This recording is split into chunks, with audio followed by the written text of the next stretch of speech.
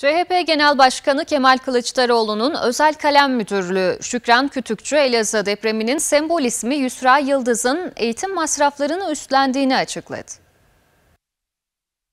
Tarihler 24 Ocak 2020'yi gösterdiğinde Elazığ'da 6.8 şiddetinde büyük bir deprem yaşanmış ve Mustafa Paşa mahallesinde bulunan Kalay apartmanı çökmüş. Yıldız ailesinden anne Ayşe, baba Hüseyin'le çocukları Onur ve Yusra enkaz altında kalmıştı.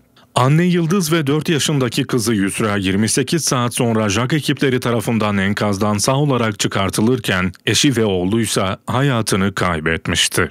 Depremin sembol ismi haline gelen Yusra bebeğin 28 saatlik hayat mücadelesinin ardından kurtarılması ise yüreklere adeta su serpmişti.